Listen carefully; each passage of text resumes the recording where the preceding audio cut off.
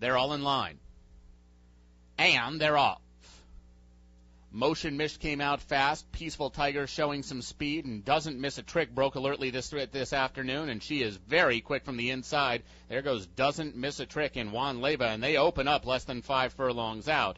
My Best China now moves to second. Snazzi Light is third. Then Motion Miss, Dance Mistress down along the rail has about six lengths to make up. Then it's Faraway Kingdom who's trying to get involved on the extreme outside. Sicilian Honor is in behind them. Peaceful Tiger is backtracking now, being passed by Tobin's Rules, and the trailer is Baby Emma as they make their way into the turn. Doesn't miss a trick, the clear leader. She's got it by almost two. My Best China is inching closer, though, from the second spot. Motion misses him with a shot. She is going up on the outside, then Faraway Kingdom. The rest have a lot of work to do to get to doesn't miss a trick.